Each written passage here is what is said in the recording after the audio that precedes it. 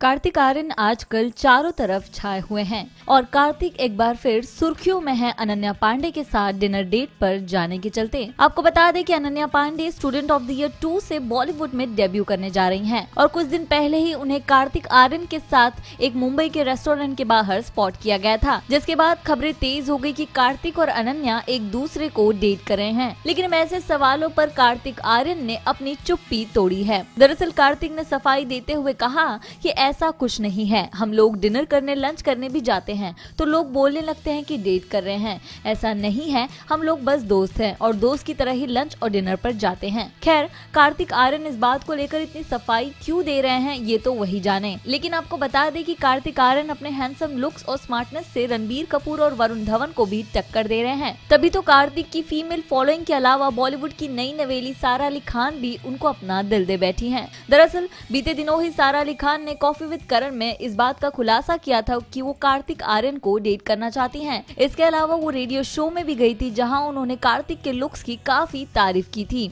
इतना ही नहीं, कार्तिक आर्यन काफ़ी ज़्यादा डिमांड में भी है, क्यूँकी कार्तिक के पास इस वक्त कई फ़िल्में हैं और उनके हाथ बड़े डायरेक्टर जैसे अनीस बाजमी की फ़िल्म भी लग गई है, जिसमें उनके ऑपोजिट कौन सी हीरोइन होगी, इस बात का खुलासा नहीं किया गया है, क्यूँकी मेकर्स चाहते हैं की उनके ऑपोजिट नया चेहरा रखा जाए बॉलीवुड की तमाम इंटरेस्टिंग खबरों के लिए देखते रहिए हमारे चैनल को सब्सक्राइब करना बिल्कुल भी ना भूलें।